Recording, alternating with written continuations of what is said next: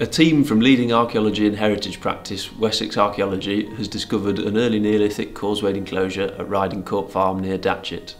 The fieldwork is funded by Cemex UK, who own and operate the sand and gravel quarry. An ongoing programme of archaeological work is planned over the next five years. The quarry covers some 44 hectares.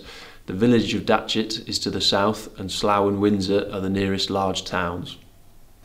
The Thames lies one kilometre to the south and would have been an important routeway in the Neolithic, much as it is today.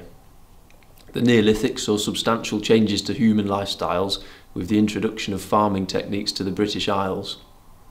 We see the first domesticated animals and crops, the first use of pottery vessels, and new types of stone tools are also introduced. Large communal monuments are constructed and people begin to leave visible traces in the landscape. Causewayed enclosures are one of the earliest known acts of monument building in Britain and are defined by encircling bank and ditch segments with gap entrances.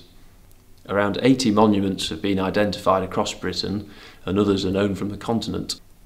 The Riding Court causewayed enclosure may have been seasonably occupied, a place where people gathered to undertake ceremonial feasting, exchange goods, mark festivals and carry out social obligations. The enclosure comprises a single circuit of interrupted ditches. So far, around 250 metres of the enclosure's arc, some 13 ditch segments, have been mapped.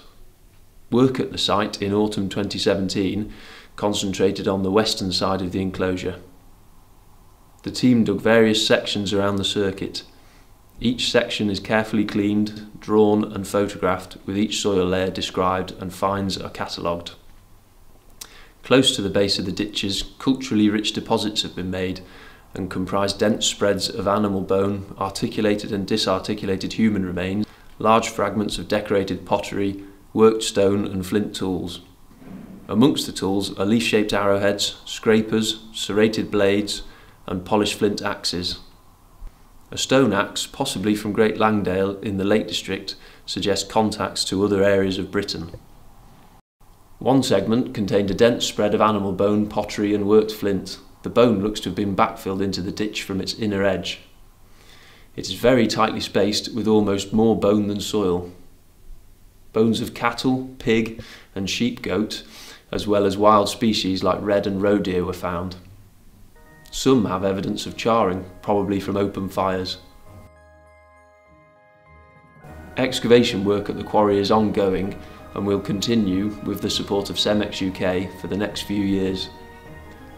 Ultimately, we will be able to see the whole of the causeway enclosure and its surrounding landscape. This will allow archaeologists to study some of the earliest farming communities and how they left their mark on the landscape for years to come.